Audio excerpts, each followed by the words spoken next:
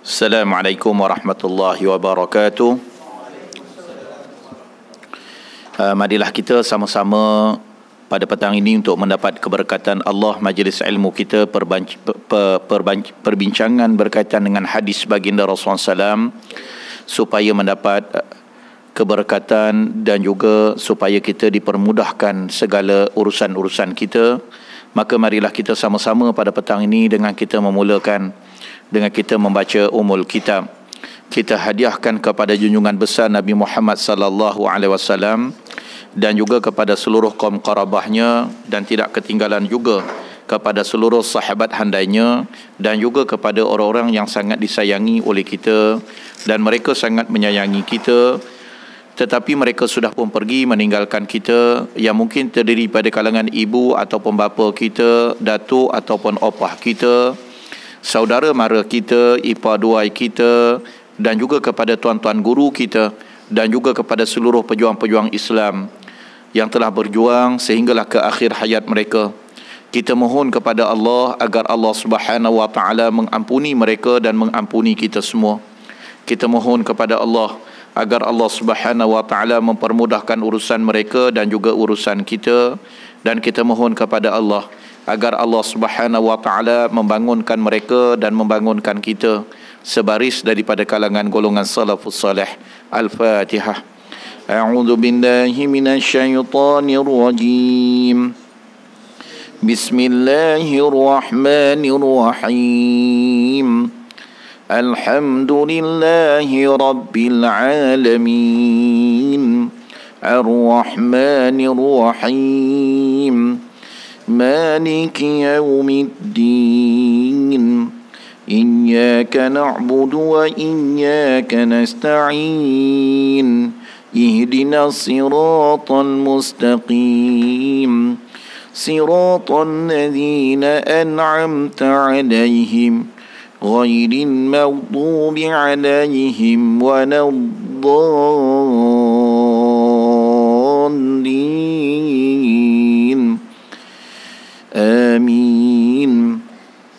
Alhamdulillah wassalatu wassalamu ala Rasulillah syahadu an la ilaha illallah wa asyhadu anna Muhammadan abduhu wa rasuluh.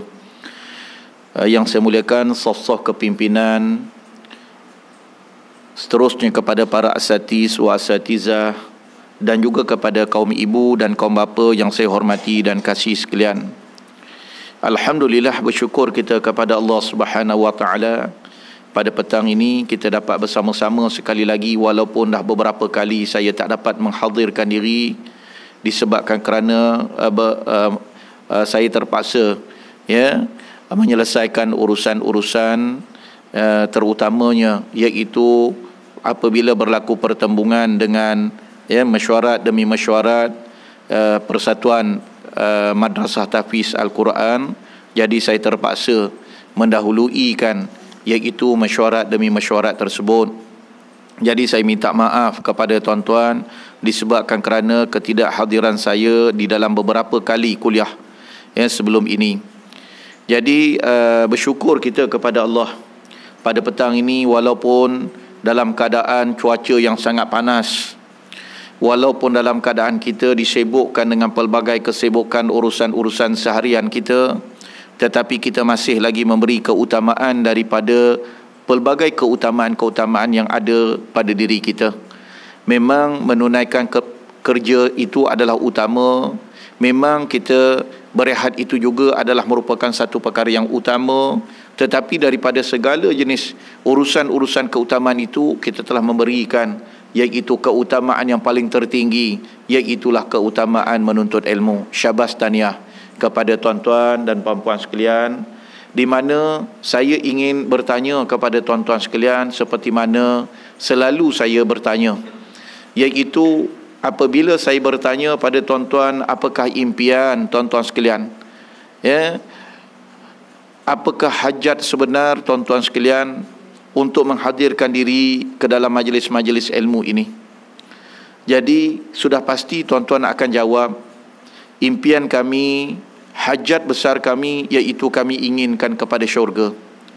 Ingin kami inginkan kepada keredaan Allah, kami inginkan keampunan Allah dan juga iaitu hajat paling terbesar kita iaitu kita ingin masuk ke dalam syurga Allah Subhanahu wa taala. Jadi tuan-tuan dan puan-puan sekalian, sememangnya syurga itu satu impian bagi kita. Tetapi syurga itu adalah merupakan satu syurga yang mana ianya dicipta oleh Allah bukan ianya berada di dalam dunia yang hakiki pada hari ini. Tetapi ianya adalah merupakan syurga yang dicipta oleh Allah setelah ketiadaan dunia yang kita hidup ini.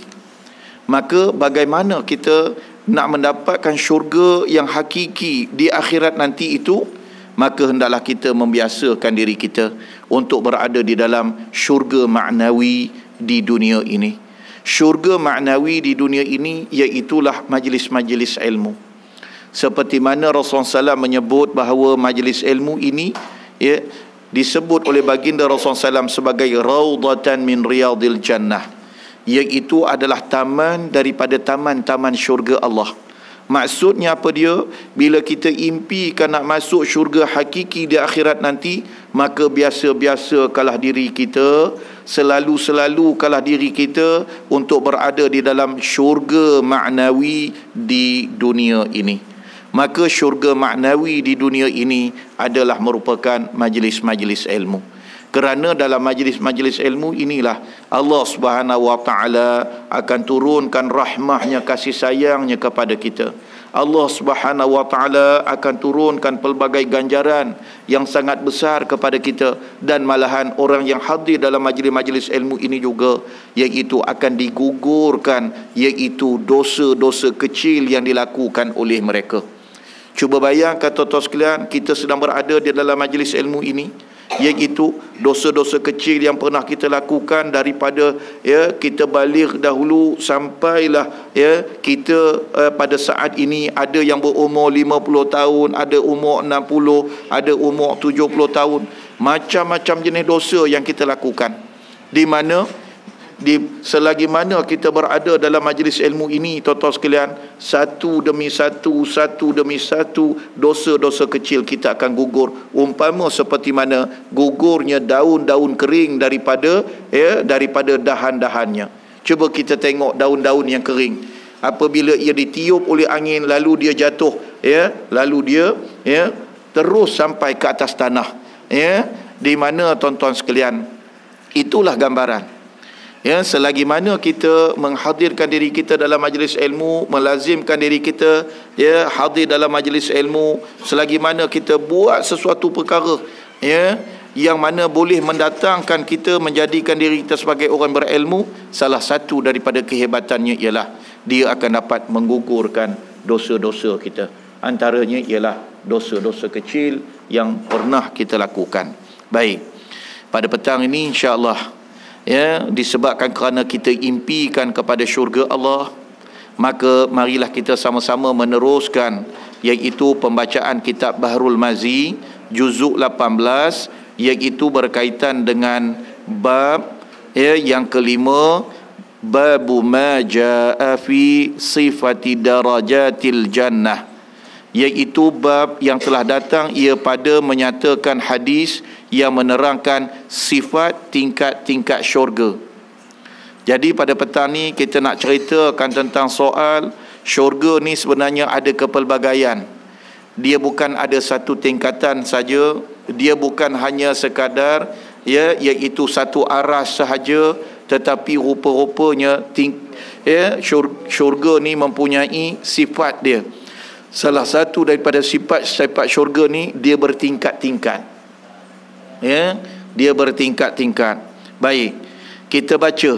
Kita baca tuan-tuan sekalian bersama-sama supaya paling-paling tidak kita dapat sedikit ya syafaat daripada hadis baginda Rasulullah sallallahu alaihi wasallam ini yang mana kalau kita lihat tuan-tuan sekalian bila lisan kita kita basahkan dengan kita membaca hadis Rasulullah SAW mata kita kita merenungi akan hadis baginda Rasulullah SAW otak kita kita berfikir terhadap hadis baginda Rasulullah SAW tubuh badan kita hadir dalam majlis pengajian yang membaca akan hadis-hadis Rasulullah SAW semua ni akan menjadi saksi.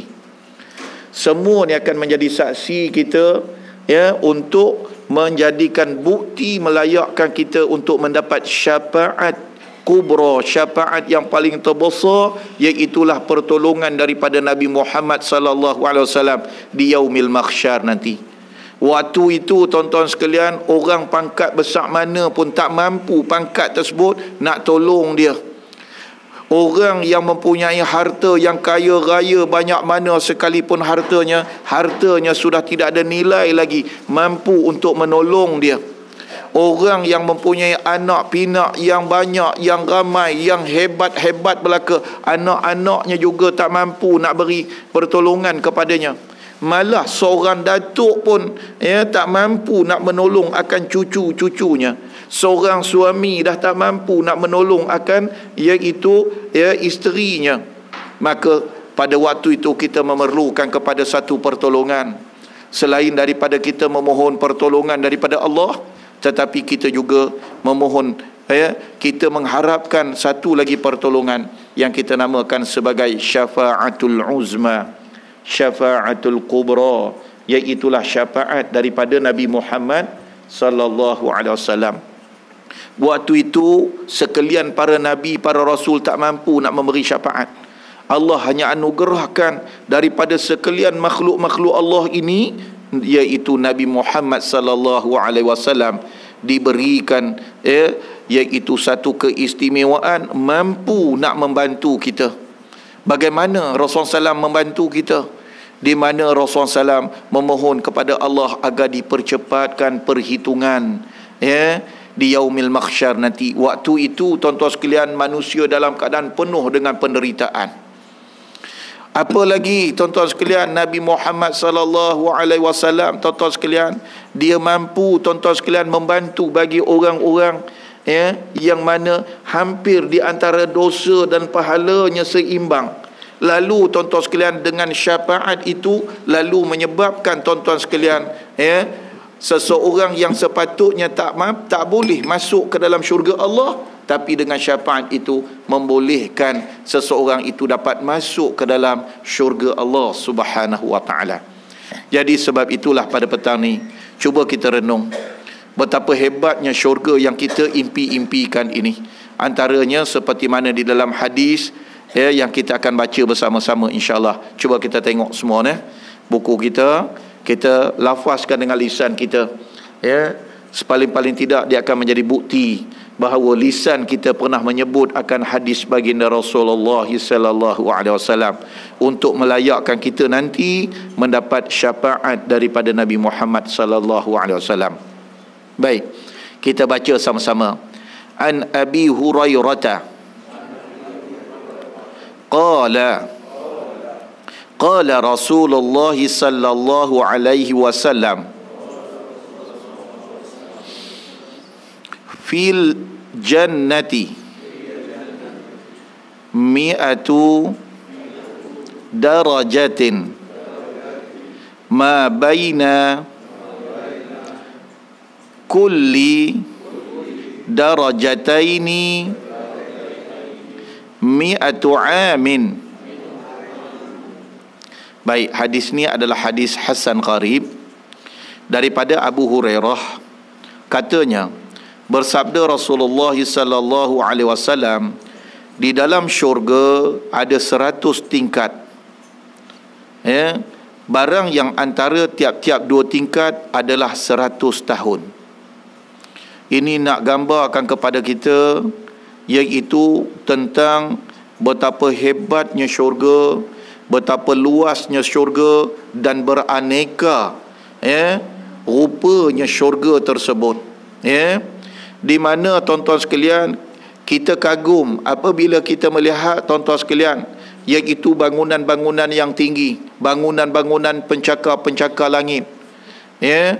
Tetapi tuan-tuan sekalian cuba kita lihat ketinggian pencakar langit walaupun sampai ada 200 ya uh, tingkat tetapi tuan-tuan sekalian cuba kita bayangkan, cuba kita imaginekan pula iaitu syurga yang disebut di dalam hadis ini iaitu mempunyai seratus tingkat. Tetapi di antara satu tingkat nak pergi kepada satu tingkat yang seterusnya.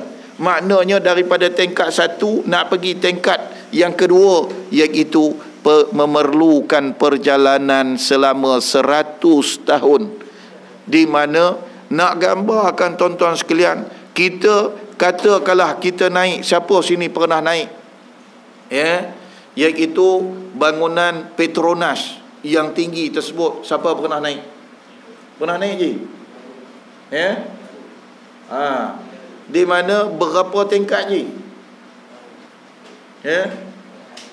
84 tingkat. Masya Allah. Tinggi tuan-tuan sekalian Ibu-ibu sekalian Kita pakat tengok pun Allah Tingginya bangunan tersebut Betul?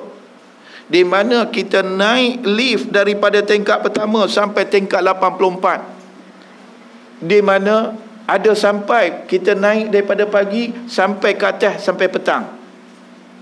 Ibu sekalian Ya Sampai dah satu hari Nak sampai ke tingkat 84 tersebut? Di mana ya katakanlah kerana kita menaiki lift. Kita cuba pula berjalan kaki contohnya.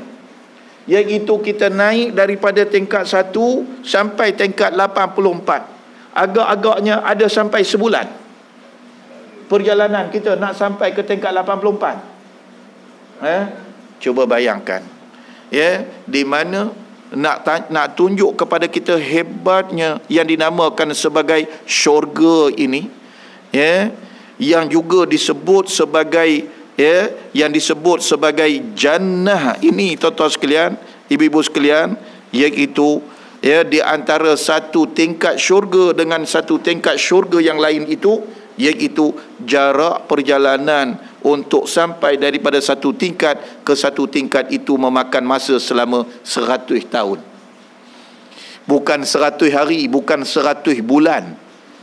Ya, bermakna di dalam seratus dalam satu tahun ada tiga ratus lima puluh enam hari kalau mengikut kalender Hijriah, betul? Di mana kita cuba bayang tiga ratus lima puluh enam kita kalikan dengan ya, kalikan dengan seratus bayangkan betapa lamanya perjalanan untuk kita berjalan daripada satu tingkat ke satu tingkat lepas satu tingkat seratus tahun pula nak sampai kepada satu tingkat yang kedua pula, yang ketiga pula. Kemudian seratus tahun lagi pula nak sampai ke tingkat yang keempat. Bayangkan nak sampai ke tingkat yang ke seratus. Memakan masa berapa lama? Itu nisbah dia. Betapa hebatnya ciptaan Allah yang namanya syurga. Sebab itu bila sebut saja syurga ni ibu sekalian syurga ini dia adalah merupakan tempat nikmat.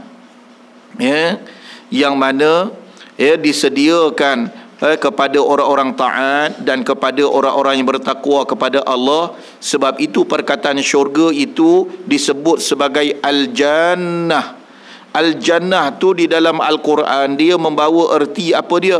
Iaitu taman yang indah. Itu dia Jannah. Taman yang indah. Itu namanya Jannah. Taman yang penuh dengan pelbagai kenikmatan. Itu namanya Jannah. Iaitu taman yang dipenuhi dengan aneka kesukaan. Ya, itu dinamakan sebagai Jannah. Ha.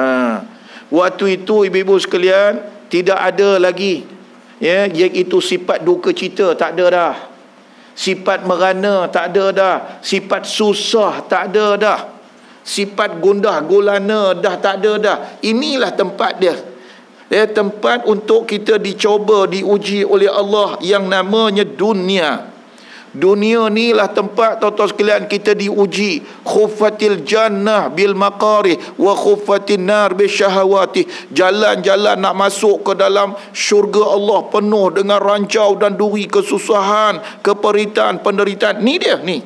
Kita sedang berhadapan dengan keperitan ni. Kita sedang berhadapan dengan penderitaan, kesusahan ni. Ya, kepayahan ni ni. Ni. Ni sebab kita sedang berjalan nak menuju ke syurga. Betul ibu sekalian. Kalau ibu-ibu rasa ibu-ibu berjalan sedang nak menuju ke syurga, eh, di mana biasa-biasalah kita dengan kesusahan. Kita tak pernah kalau mengikut sunnatullah, sunnatul Rasul sallallahu alaihi wasallam, tak ada seorang rasul pun seorang nabi pun dipermudahkan hidup di dunia ni cuba tuan-tuan tunjuk pada anda mana ada nabi yang dipermudahkan oleh Allah tak ada semua diuji dengan pelbagai jenis ujian. Ada Nabi yang digegaji kepalanya sampai terbelah dua. Nabi Zakaria AS. Sedangkan dia adalah Nabi. Sedangkan dia adalah Rasul. Bayarkan sampai macam tu sekali. Sebab ya nak kejar jannah. Nak dapat anugerah jannah. Inilah dia sifat dunia. Kita penuh dengan penderitaan. Penuh dengan kesusahan. Penuh dengan kepayahan. Di dunia ibu-ibu sekalian apa dia kita terpaksa apa dia ada sakit betul. Ya, di mana cuba kita tanya dengan ya diri kita atau sekalian macam-macam. Ada dengan gautnya, dengan kencing manis, dengan kencing tak laweh, kencing tak berapa derah. Ya. Di mana tuan-tuan lemah jantungnya, macam-macam jenis penyakit betul. Di syurga esok tak ada dah. Sebab di sini tempat ujian. Kamu sabar tak sabar, kamu kena gaut, kamu sabar tak sabar. Saya walaupun kena gaut, saya tetap juga hadir dalam majlis ilmu. Saya tetap juga hadir menunaikan solat berjemaah. Allah hukum. Eh, walaupun dia ditimpa dengan kesusahan, lalu tuan-tuan sekalian, dia sabar dengan ujian tersebut, baru dia layak nak masuk syurga. Sebab dalam syurga nanti tak ada gaut dah. Tak ada dah gaut-gaut ni tak ada dah. Tak ada dah kencing-kencing derah, kencing-kencing tak lawas. Eh, kencing manis dah tak ada dah. Dalam syurga dah. Eh? Di mana tuan-tuan sekalian? Kita di dunia ni tuan-tuan sekalian, apa dia tuan-tuan sekalian? Eh? Di mana kita pakat nak berak. Betul, nak kencing, betul. Maknanya, ya, makan sikit, berak banyak, betul? Ya? Di mana saat-saat nak kencing, saat-saat nak kencing. Ya, sabar, sabar. Ya, sebab dalam syurga nanti tak ada berak-berak dah. Dalam syurga nanti tak ada kencing-kencing dah. Allah. Ya. Sebab itu ibu-ibu sekalian, waktu di dunia ni kita pakat ya, di mana tuan sekalian susah, susah. Ya, diuji, kadang-kadang diuji oleh suami kita ya, barannya suami kita Allah. Ya. Kadang-kadang kita diuji dengan anak-anak kita, anak-anak kita yang tak mau dengar cakap kita. Allah, sengsara kita. Kadang-kadang kita diuji, tuan-tuan sekalian, diuji dengan sahabat-sahabat kita, macam-macam jenis ujian. Dan malahan, ya, kadang-kadang kita diuji, tuan-tuan sekalian, iaitu tuan-tuan sekalian oleh parti kita, tuan-tuan sekalian, macam-macam. Ya, kita diuji. Jadi, ni nak gambar kepada kita, tapi di syurga nanti tuan sekalian tidak ada lagi dah. Kita akan hidup penuh dengan kegembiraan. Itu sebab namanya jannah. Sebab jannah ni namanya apa dia? Iaitu memberi erti taman yang indah. Ya, yang membawa erti tempat yang penuh dengan pelbagai nikmat tempat yang dipenuhi dengan aneka kesukaan. Tak ada dah kedukaan citaan tak ada dah. Tak ada dah perasaan duka cita tak ada dah. Ya gembira aja. Kalau di dunia ni tempat gembira selalu tak ada duka cita di mana? Ada tak? Ada. Iaitu tuan-tuan pergi ke Ipoh. Sampai di Ipoh tuan-tuan menahala pergi ke Tambun atas daripada Tambun ada satu tempat namanya Tanjung Kambutan ya. Di mana dia akan sentiasa ketawa sahaja. Ya. Dia sedih pun dia ketawa dia ya gembira pun dia ketawa. Ya. Ha, itu nama tempat dia Tanjung Rambutan. Hospi- namanya pun hospital bahagia. Namanya pun bahagia. Memang mereka ni bahagia. Dia bukan tahu apa ha. Jadi tuan sekalian ya sebab itu pernah sahabat saya ya saya eh, dia bercerita dia kata dia pernah hadir ke hospital bahagia. Ya dia saya pun pernah beberapa kali pergi ke hospital bahagia. Mereka jemput untuk menyampaikan kuliah di sana. Ya jadi apabila kita pergi ke sana kita akan tengok macam-macam kelakuan-kelakuan yang sangat berbeza dengan manusia normal seperti mana kita. Jadi jangan heran sebab mereka orang bahagia. Eh orang bahagia ni memang macam itulah eh di mana tuan-tuan sekalian dia pakat letakkan tong yang diisi air lalu dia pakat pancin dalam tong tersebut. Ya dia pakat pancin dalam tong. Macam tu. Tong derma yang jernih tu dia taruh air kemudian dia ambil lidi eh lalu dia pakat pancin lalu tuan-tuan sekalian kita pakat lalu kita pakat tanyalah uh, cik ada ke ikan dalam tong tu apa dia jawab dia jawab, kau ni gila ke? Dia kata, mana ada? Dia kata. Jadi, eh, malu kita. Orang gila kata kita. Eh, oh, eh, apa nama orang gila kata dekat orang normal gila. Eh, jadi, tuan sekalian, jadi sebab tu jangan banyak bertanya. Kalau pergi eh, ke hospital, eh, uh, bahagia, jadi pandang saja jangan banyak bertanya tuan-tuan sekalian. Nanti eh, dia kata kita pula gila. Ya, ah, jadi sebab tu kalau kita tengok, saya baru-baru pergi uh, PRK di Cameron Highland. Uh, iaitu 2-3 hari sebelum uh, pilihan raya. Lalu tuan-tuan sekalian, kita rasa kagum tuan-tuan sekalian kerana kekuatan kehebatan orang asli. Ya, kebijaksanaan orang asli di mana tuan sekalian orang asli tuan-tuan sekalian mereka sangat bijak untuk memilih pemimpin untuk mereka tuan sekalian saya pakat malu ya bila saya balik saya fikir ish orang asli lagi bijak daripada orang Melayu tapi bukan orang Melayu yang ada dalam ni tuan sekalian hmm. di mana tuan-tuan sekalian orang asli lagi bijak daripada orang Melayu sebab mereka tahu Ya, di mana tuan sekalian apa antara yang mereka sebut ni bila saya tanya, saya sembang-sembang dengan orang tempatan sana, dia kata kami penduduk asal di sini. Dia kata puak-puak ni dia kata dia tujukan kepada ya iaitu orang-orang bukan Islam dan juga ya orang-orang apa nama DAP ni dia kata mereka ni semua celaka belaka dia kata. Ha, bukan saya sebut. Sebab dia kata ya Cameron Highland ni dia kata ya kami yang jadi penduduk tempatan ni semakin hari semakin kecil semakin hari semakin ya terhimpit semakin hari semakin susah. Tanah yang dimiliki oleh kami telah diambil oleh mereka. Mereka telah berjaya membuka apa ladang-ladang yang luas-luas kami pada hari ini dia kata sudah tidak ada apa-apa dia kata. Jadi kalau sekiranya kami terus lantik mereka ya dia kata Akhir sekali tak ada apa yang tinggal pada kami lagi hanya sekadar tinggal pada nama aja. Maknanya orang asli fikir lagi cerodik daripada orang Melayu. Eh ni orang Melayu tuan-tuan sekalian pakat ya nak gadai ya negara dia nak gadai tanah air dia nak gadai malah nak gadai agama dia nak serah pada orang bukan Islam. Ish ish. Kita rasa sedih.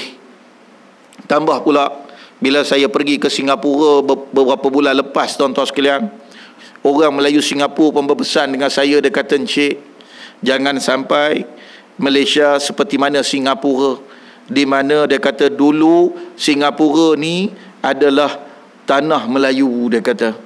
Sebab itu nama Singapura tu ialah eh, Temasik asal. Dia kalau ikut sejarah nama asal Singapura tu Temasik Temasik tu daripada perkataan Jawa. Ya? Di mana maknanya apa dia?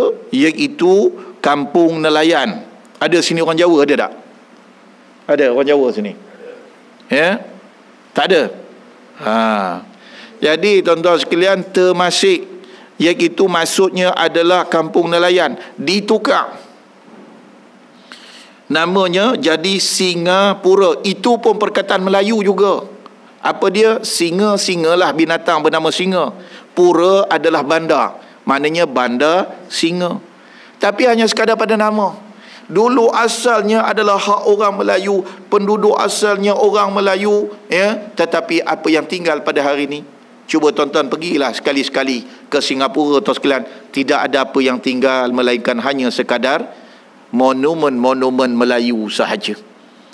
Eh, di mana kalau pergi Gelang, Gelang dulu tuan-tuan sekalian, sahabat saya cerita dulu, siapa yang pernah jadi askar tuan sekalian, dia kata di situ dulu adalah penempatan Melayu yang cukup banyak. Tetapi tuan-tuan sekalian, hari ini hanya ada tiga buah rumah tradisional Melayu saja dikekalkan untuk menggambarkan suatu masa dulu orang Melayu pernah duduk di sini.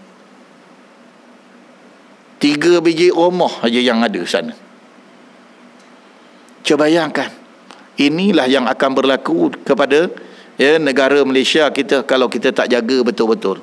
Ha, Islam hanya sekadar tinggal pada nama, Melayu hanya sekadar tinggal pada nama saja tuan sekalian iaitu dah sekarang tanah Melayu dah tak ada diganti dengan Malaysia itu pun tuan-tuan sekalian ya diganti Cina Sia tuan-tuan sekalian dia tak ada dah Malaysia dia ganti dengan Cina Sia dia kata. Hmm. Boleh. Jadi sebab itu ya kalau kita lihat ya kita perlu ya melihat perkara ini sebagai satu ancaman dan inilah merupakan salah satu daripada perjuangan kita tuan-tuan sekalian. Ya, di mana bila kita berjuang terus mempertahankan tanah air kita, mempertahankan iman kita, mempertahankan Islam kita tuan-tuan sekalian, insya-Allah apa yang akan kita perolehi iaitu tuan sekalian, inilah yang kita nak iaitu al-jannah, syurga. Sebab tuan sekalian mati je kita tidak ada apa perjuangan dah. Waktu hidup lah kita nak berjuang. Ni ibu sekalian, waktu hidup ni lah kita nak berjuang. Jangan tunggu sampai nyawa dah sampai ke gara-gara. Eh baru aku, eh aku kalau lah aku eh, di, eh, diberikan kehidupan, aku akan berjuang. Sudah, sudah terlewat. Waktu sekarang ni lah ibu-ibu sekalian. Kalau nak berjuang, nak tegakkan Islam. Waktu sekarang lah. Ha, jadi sebab itu, saya nak nasihatlah kepada ibu-ibu sekalian. Kita nak berjuang, nak angkat senjata, kita tak mampu ya tetapi bagi saya sekarang ni dah jadi satu kewajipan iaitu tuan-tuan sekalian untuk kita berjuang ya untuk kita berjuang bagi kita ya memastikan bahawa ya iaitu makan dan minum kita dan juga segala pemberian pembelian barang-barang kita adalah daripada kalangan benar-benar yang halal ini merupakan perjuangan. Sebab tu tuan sekalian, saya tak setuju ada satu dalam WhatsApp sebut dia kata ya kita tak perlu boikot barang-barang keluaran bukan Islam. Dia kata ini bukan didikan Islam. Dia kata yang kita perlu ialah apa dia? Iaitu yang kita perlu uh, iaitu kita mendirikan sembahyang lima waktu sehari semalam. Bila kita jaga semayang lima waktu sehari semalam, nescaya Islam akan tertegak. Oh, mudah menor tuan-tuan sekalian. Eh? Sebab bila kita nak semayang tuan-tuan sekalian, eh, kita perlu jaga pelbagai perkara. Apa dia tuan sekalian? Iaitu talabul halali iaitu tuan-tuan sekalian ya menuntut perkara yang halal itu adalah merupakan faridatun ala kulli muslimin adalah merupakan satu kewajipan ke atas setiap orang Islam sebab itu bila kita semayang ngapa semayang kita tak khusyuk ngapa semayang kita tak khusyuk sampai pecah dahi-dahi kita tuan-tuan sekalian retak ya tempurung kepala kita sebab sujud tapi tak datang khusyuk kerana apa sebab salah satu faktor kerana faktor pemakanan. Dalam perut kita penuh dengan benda-benda yang yang haram. Mengapa kita malas nak pergi semayang? Ngapa kita malas? Kena buat kajian. Ngapa salah satu daripada penyebab kita malas nak pergi semayang? Berat kita nak pergi semayang. Sebab salah satu daripada sebabnya kerana tubuh badan kita penuh dengan benda-benda yang haram. Makanan kita makanan yang haram. Mata kita melihat benda yang haram. Telinga kita mendengar benda yang haram. Tangan kita banyak pegang benda-benda yang haram. Kaki kita berjalan ya pergi ke tempat-tempat yang haram. Itu sebab berat kita nak pergi semayang. Jadi sebab itu tuan-tuan sekalian anda harap supaya kita semua tuan sekalian berjuang salah satu perjuangan anda rasa semua orang boleh berjuang benda ni kalau kita saya kata mari kita berjuang angkat senjata ramai orang tak mampu saya salah seorang dia tuan sekalian. Saya cukup takut bunyi senapang. Saya ni kalau ikutkan, saya ni pewaris kepada senjata api ayah saya. Senapang patah ayah saya. Ha, waktu ayah saya, ya, sebelum dia meninggal, dia panggil anak-anak semua. Dia panggil anak-anak semua. Lalu, dia kata, ayah ada senjata api senapang. Dia kata ya di mana dia nak bagi dekat abang yang ini? Dia pakai fikir eh eh tak apa boleh harap. Dia pakai nak bagi dekat anak perempuan dia lagilah. Lalu dia kata dia tanya dengan saya. Dia kata to dia kata ha nama glamour minta maaf eh kamu nak ke senapayah ni? Ha. Jadi tuan sekalian kalau saya nak cukup syarat. Sebab saya ada tanah cukup syarat dia kena ada kena ada tanah. Ya tapi satu je syarat yang saya tak cukup saya takut bunyi senapang. Sebab itu tuan sekalian ayah saya selalu paksa saya ikut dia pergi nembak tupai ataupun pergi memburu saya ikut tuan sekalian dekat 50 100 meter tuan-tuan sekalian ikut belakang dia. Tengok tuan sekalian bila dia pakai letak ya senapang tu buka bau dia ya dia tenang apa apa nama ni tu tupai ke apa tuan sekalian saya waktu tu saya dah letak telinga tuan sekalian gini dah. Ya selagi mana tak tak bunyi berdentum tuan sekalian saya tak buka telinga tu. Tum! Ha dapat gaya? Ha saya kata mana tuan sekalian? Tak ada harapan hmm. Hmm. Jadi tuan sekalian baik itu cerita saya. Jadi itu contohnya. Maknanya ya nak pergi berjuang ya cara itu sukar. Dan itu pun eh, sememangnya tak sepatutnya berlaku lagi pada waktu ini. Tapi kita perlu berjuang. Pada hari ini semua orang boleh berjuang. Apa dia tuan sekalian? Iaitu perjuangan kita tuan-tuan sekalian memastikan bahawa setiap daripada kalangan kita ini iaitu membeli barang-barang hanya orang Islam. Dan kita perlu memastikan tuan-tuan sekalian barang-barang yang kita masukkan ke dalam mulut kita dan kepada mulut anak isteri kita ni benda-benda yang halal bukan sekadar halal tetapi tayyibah yang baik tuan-tuan sekalian. Ada benda yang halal tapi belum tentu baik. Ada benda yang baik belum tentu tentu halal lagi. Jadi sebab itulah saya harap tuan-tuan sekalian contoh contoh tuan-tuan sekalian contoh. Ya. Iaitu tuan-tuan sekalian berah berah. Kita boleh buat pilihan tuan-tuan sekalian. Kita diberi pilihan tuan-tuan sekalian. Di mana di depan kita waktu kita nak pergi beli berah tersebut ada berah jasmin depan kita. Kemudian di sebelah pula ada bird of paradise. Amboi amboi bird of paradise. Sebelah pula floris. Ish ish ish. Tiba-tiba di sebelah ini tuan sekalian ada beras cak faiza contohnya. Agak-agak tuan-tuan nak beli beras mana? Jadi tuan-tuan sekalian memang cukup.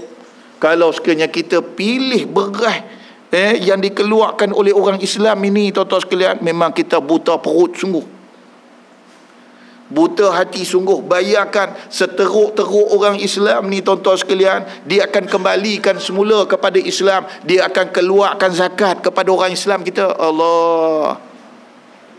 Sepaling-paling teruk orang Islam dia mengucap dua kalimah syahadah. Asyhadu alla ilaha illallah. Sepaling-paling teruk orang Islam tuan-tuan sekalian. Iaitu tuan-tuan sekalian dia tak sanggup tuan-tuan sekalian. Ya? yeah iaitu ya nak cerca al-Quran nak hina al-Quran tuan-tuan sekalian. Jadi sebab itu tuan-tuan sekalian ni tambah pula saya pun pakai heran tengok. Ish. Ada di tempat di, di, di tempat-tempat sana tuan sekalian. Di mana mereka sanggup tuan sekalian kalau nak gunting rambut gunting rambut. Di mana mereka pakat cari tukang gunting orang Hindu Sedangkan tukang gunting orang Islam ada. Ish, ish. Cuba bayangkan tuan-tuan sekalian orang Hindu ni, dia kalau dia berak, apa dia buat? Dia salat je. Lepas dia salat, kemudian ya, ayak kencing dia, dia buat macam mana? Dia pukul rupa tu ya. Lepas pada tu dia gomoy kepala kita, dia gomoy kepala kita, kerak kerup kerak kerup itu sebab bodoh kita tuan sekalian benak kita tuan sekalian kemudian kita pakat pi masjid semayang tuan-tuan sekalian Sebab saya kata tadi, ya. Di mana tuan-tuan sekalian, tapi kalau sebodoh-bodoh orang Islam, sejahil-jahil orang Islam, di mana bila dia berak tuan-tuan sekalian, dia basuh buntut dia. Ini teruk sungguh lah orang Islam. Betul tuan sekalian, betul tak? Eh? Orang Islam dia takkan eh, main ceh gitu tuan-tuan sekalian. Dah, dah, dah, dah, dah. Seteruk-teruk orang Islam tuan sekalian, dia pakai basuh juga dia punya anu dia betul. Lebih ada kencin betul tak? Eh? di mana tuan sekalian ish ish jadi sebab itulah saya harap ya hari ini tuan sekalian kalau kita tengok betapa dahsyatnya orang bukan Islam ni tuan sekalian kalau di Tepin tu ada sebuah hotel ya yang keluar baru-baru ni dimasyhurkan dalam ya dalam Facebook dan sebagainya tuan-tuan sekalian. Apa dia? Iaitu hotel uh, apa nama dia tu? Ha flat uh, Flemington. Hotel Flemington. Yang mana hotel tersebut dekat tepi dengan uh, apa nama tu? Lake Garden. Allah tuan-tuan sekalian khianat sungguh tuan sekalian bayangkan dia orang mempermain-mainkan eh di mana tuan sekalian mereka buat permohonan kepada Jabatan Kemajuan Islam, Jabatan Agama, lalu mereka diberikan logo Halamalilam. Besar ni tuan sekalian logo ditampal di dinding hotel tersebut. Halamalilam. Tapi dalam masa yang sama, bila pelaksanaan dia teruskan, apa yang berlaku? Di mana bila buat pemeriksaan jumpa kaki-kaki jari-jari daging-daging babi di dalam ya tempat masakan hotel tersebut. Cuba bayangkan tuan sekalian.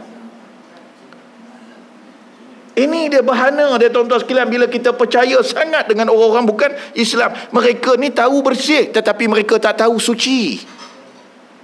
Mereka ni tak ada sifat dosa, pahala, haram, halal, syurga, neraka yang sedang kita baca baca ni. Kita nak syurga tuan sekalian. Syurga ni suci, syurga ni bersih. Allah. Jadi sebab itu tuan-tuan sekalian, saya harap mula pada hari ini. Ya. Yeah, Cuba-cubalah tuan-tuan sekalian. Bersungguh-sungguhlah kita tuan sekalian. Beli hanya produk orang-orang Islam. Beli di kedai orang-orang Islam. Dan juga tuan-tuan sekalian. Iaitu kalau boleh tuan-tuan sekalian. Berhati-hatilah betul-betul. Bagi jenama-jenama yang menggunakan nama-nama Islam. Hari ini diviralkan saya harap benda ni tak betul. Tak, eh, di mana tuan-tuan sekalian saya petang tadi saya sempat baca sekejap iaitu minyak minyak masak di mana tuan sekalian kerana gelombang boikot ini terlalu hebat lalu hari ini tuan sekalian eh orang-orang bukan Islam sudah mula menukar jenama mereka hari ini tuan sekalian minyak cap boroh dah tak berapa laku tuan-tuan sekalian. Ya minyak cap apa pisau dah tak laku tuan sekalian. Lalu mereka tukar nama-nama menggunakan nama-nama Islam. Berhati-hati. Mereka guna nama sekarang ni minyak Said. S Y E D. Ada Said sini? Ha. Jadi minyak masak cap Said ya ha jadi Cik Said berhati-hati jangan eh ini teman punya kroni Jangan teman punya koroni. Eh, rupa-rupanya eh ah Lim Guan Ing punya kroni. Boleh nampak? Ha, jadi sebab itu kita nak syurga. Jadi bukan senang nak masuk syurga yang saya sebut tadi.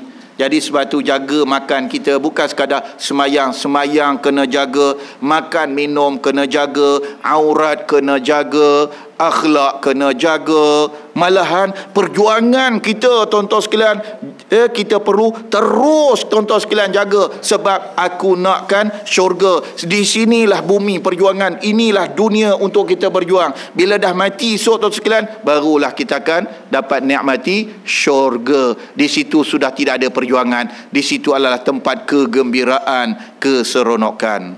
Ya? yeah? Sebab itu kalau kita tengok di sini disebut syurga ni ada seratus tingkat. Allah. Ada seratus tingkat. Baik, cuba kita tengok nama-nama syurga ni pun ada macam-macam. Ya. Yeah. Syurga pun ada nama dia macam-macam ibu-ibu sekalian. Ya. Yeah. Cuba kita sebut ada berapa jenis nama syurga? Baik, yang pertama sekali nama syurga ialah Al-Firdaus. Ah. Di mana Allah Subhanahu taala sebut di dalam surah Al-Kahfi. Al-Surah Al-Kahfi ayat 107 Innal ladzina amanu wa 'amilus solihati kanat lahum jannatul firdausi nuzula.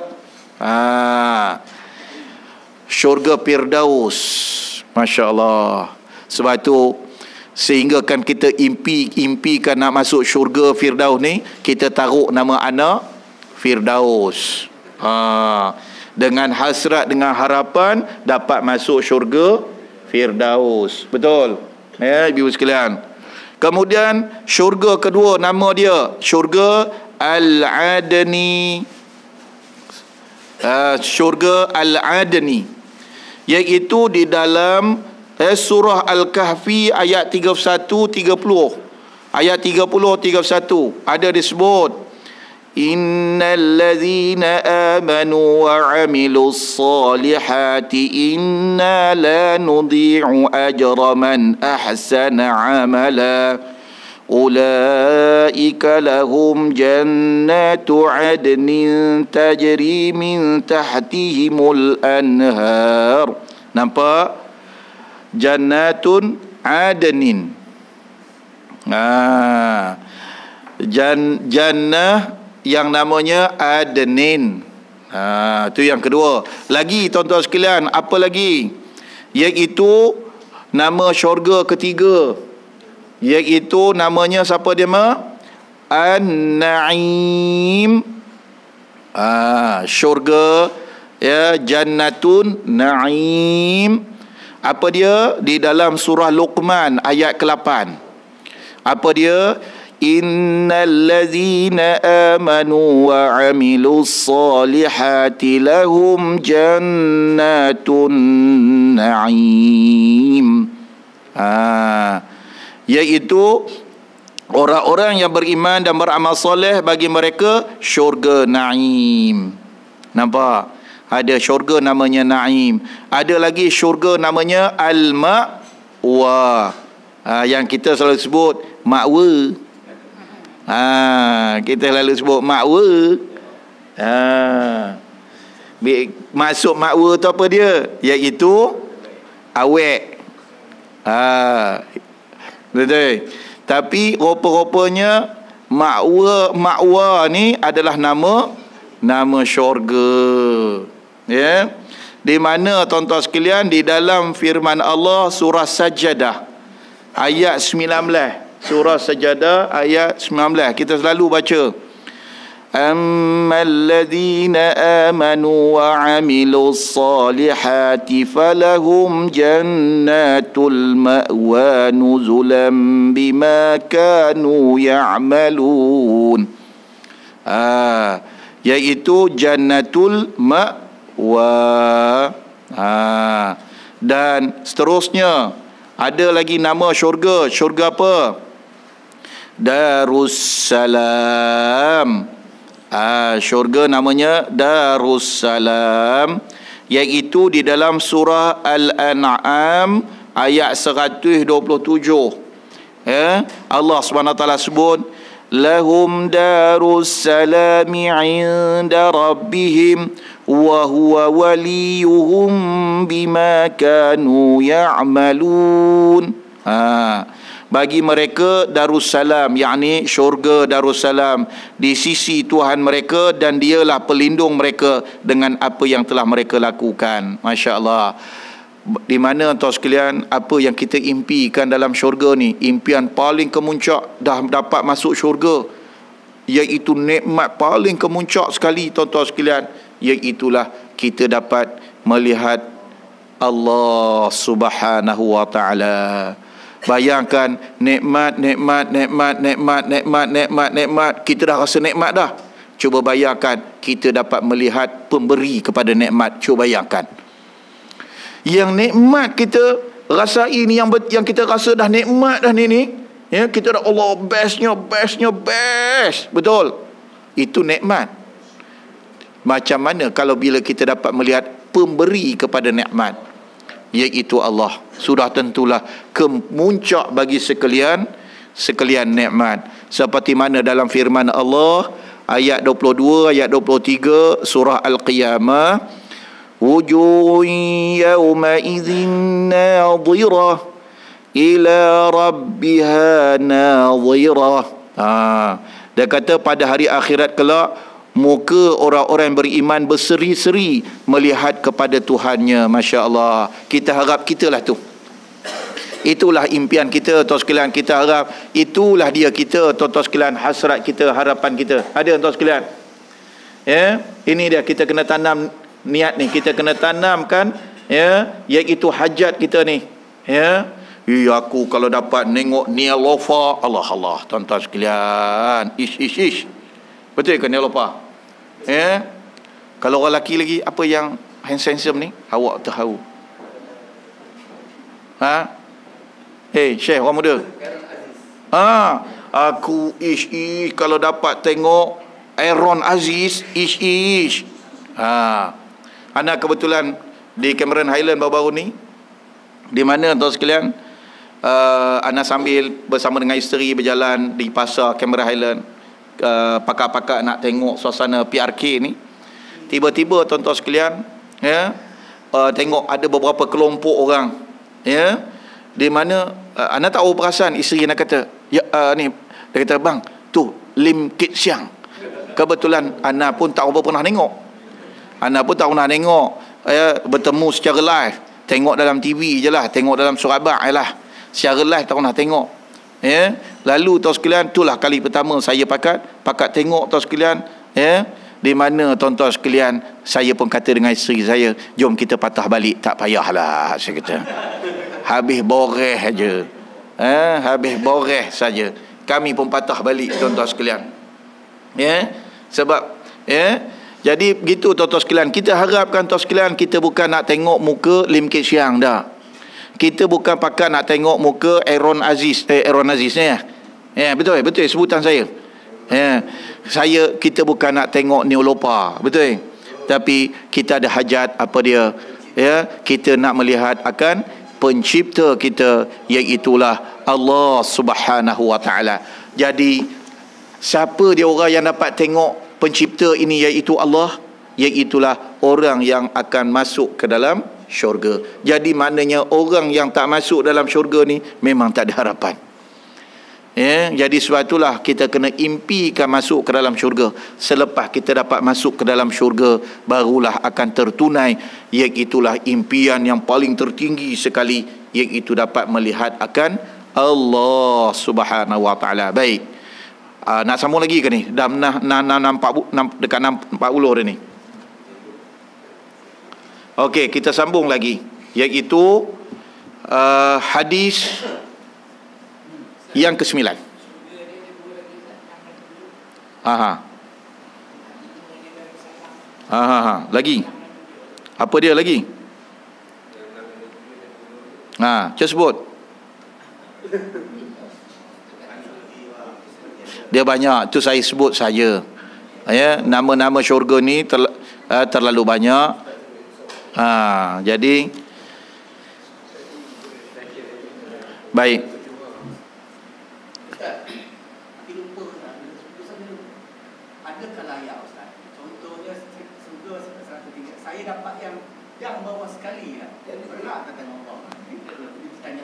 Ya, ya saya.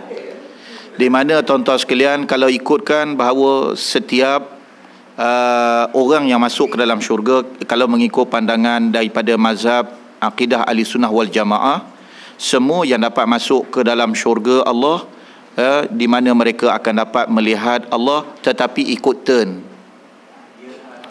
Jadi tuan-tuan sekalian opa kita lah ya di mana kalau kita pakat tengok bola sepak yang grandstand tu tuan-tuan sekalian dia pakat tengok tu dia dekat tuan-tuan sekalian ya iaitu tiket berapa 500 ringgit betul ya kena tiket 300 belakang sikit kena tiket ya 100 ringgit belakang lagi kena tiket yang 50 ringgit ni dia nampak bayang-bayang pemain aja Ya. Ha, jadi ibarat rupa itulah.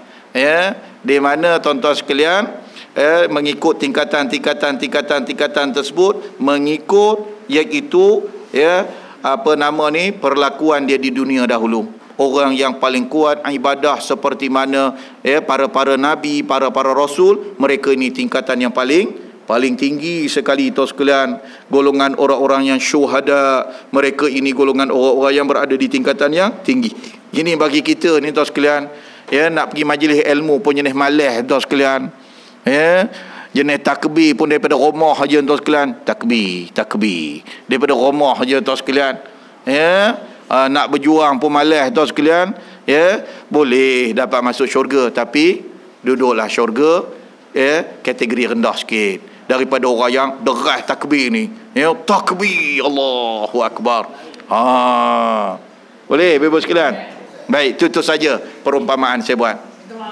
Hmm boleh kita ni asal masuk syurga sudah mana pun tak ha ya boleh. Tak ada masalah apa. Tak ada masalah apa. Ha. Yang penting kita dapat masuk. Yang penting kita dapat masuk syurga insyaAllah.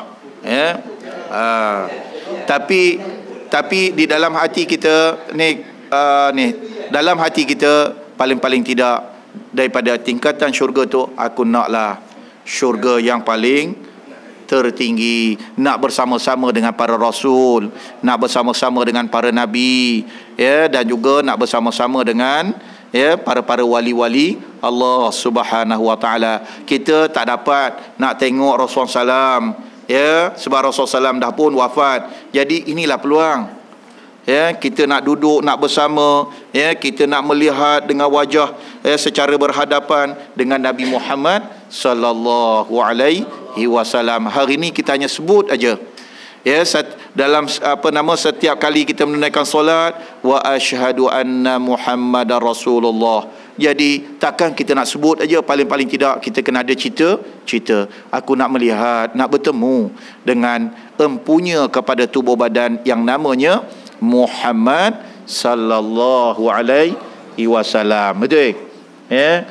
Hari ini tengok bayangkan budak yang apa nama buat pertunjukan dengan kerbau pun masyhur. Semua orang pakat nak tengok dia nak jumpa dia nak lihat daripada dekat. Siapa ke nama budak tu?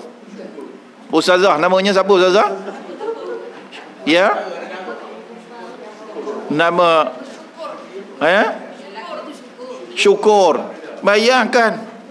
Eh keluar dalam surah abad keluar dalam televisyen ada seorang budak lelaki di mana dia boleh pakat ya apa tidur atas kerbau dia pakat boleh apa nama berjalan atas kerbau dia pakat boleh peluk kerbau macam-macam. Di mana tuan sekalian? Ya hari ni orang bersusun-susun nak pakat tengok. Wahai syukur je. Dengan kerbau. Takkan kita tak nak tengok Nabi Muhammad sallallahu alaihi wasallam? Yang kita pakat selalu sebut wa ashhadu anna muhammadar rasulullah ish ish. Betul tak ibu sekalian? Ya? Ha jadi gitu. Baik. Jadi jam pun dah 6.40 tuan sekalian. Ya jadi saya rasa kita berhenti setakat tu dulu. Insyaallah kita akan sambung nanti pada siri-siri kuliah kita yang akan datang.